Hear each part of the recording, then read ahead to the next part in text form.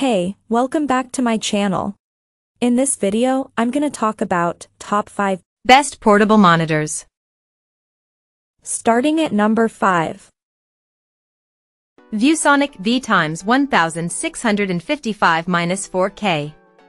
If you're hellbent on playing at 4K no matter where you are, the ViewSonic V times 1655-4K will see you right. You'll pay extra for a UHD panel, but the package doesn't skimp on build quality and features to make room for its high resolution.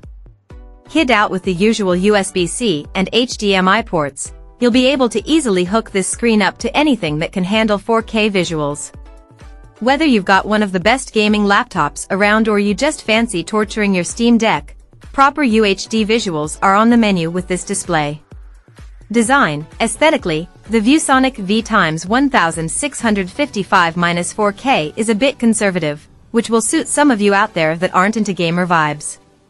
That said, it cleverly uses its back I.O. block as a stick stand, meaning the extra bulk at the back serves more than one purpose. Performance, naturally, you'll be capped at 60 Hz using this 4K monitor, but that's not going to matter so much if you're not into shooters, or lack a decent GPU. Response times aren't abysmal, but you might also want to curb your expectations if you're used to speedy desktop screens. Coming at number 4. G-Story GSV 56QM The G-Story GSV 56QM is a portable monitor that actually gives the Asus ROG Strix XG17 a run for its money, despite having a lower refresh rate. The part that makes this technically a better option solely based on speed is its snappier response time, which will matter if you care about every frame in competitive scenarios. At a glance, the GSV 56QM feels fairly ordinary, wielding a 1080p display and a decent selection of ports, including a few USB-C connectors. Yet, it's actually a bit of a monster specs-wise, offering a 15.6-inch panel with a 165 Hz refresh rate and that aforementioned 1 millisecond response time. There's probably an argument to be had over whether 3 milliseconds paired with 240 Hz is more beneficial, but it's still impressive to see responsiveness like that in this sort of package.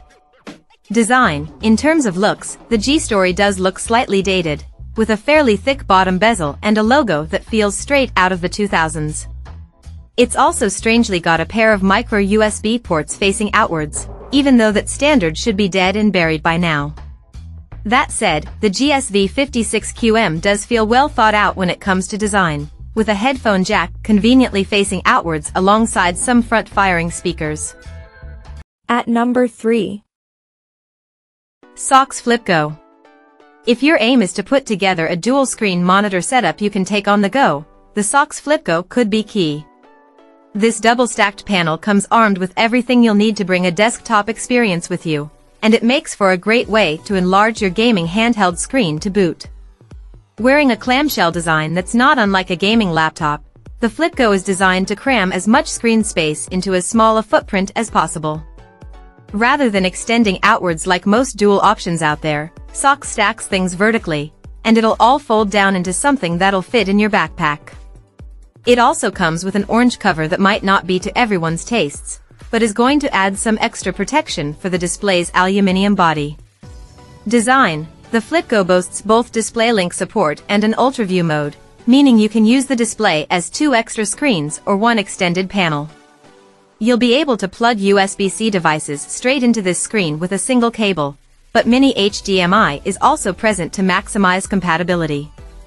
Sadly, there's no built-in battery with this one, so you'll need a power bank like the Sox 20,000 mAh 65W if you want to truly cut the cord.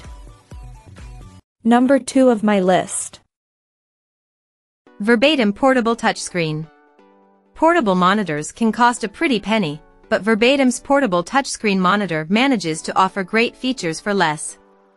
It's worth noting this screen lacks a built-in battery, and that may matter if you're looking for a completely untethered experience. However, if you hook it up to your own battery bank, you'll be able to pair it with the best gaming handhelds out there and benefit from features like HDR and touchscreen support. Depending on what you're using it for, trading away an integrated battery for those traits is more than worthwhile, not to mention it helps cut cost. Design, in terms of design, Verbatim's monitor is clad with a metal shell, and it's pretty thin even by portable monitor standards. One of its standout elements is the fact it has a kickstand built in, so you won't have to use any dual use cases to prop it up on a desk. Performance, we tested the Verbatim portable touchscreen monitor using laptops and handhelds like the Steam Deck, and for the price, it performed admirably. 15.6 inches is arguably the perfect size for a 1080p screen, and we didn't notice any particularly soft visuals as a result of SIT's resolution.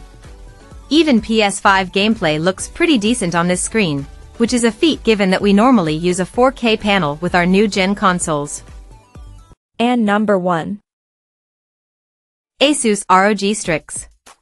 Arguably one of the best portable monitors specifically for gaming out there, the Asus ROG Strix XG17 pulls some serious on-the-go punches.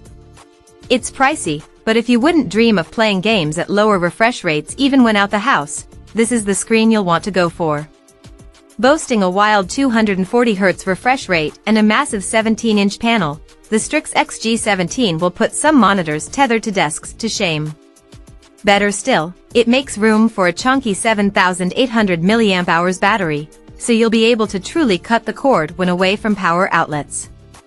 It is 1080p, which might feel a bit low for some enthusiasts out there, but that's a small caveat considering the sheer speed of this portable solution.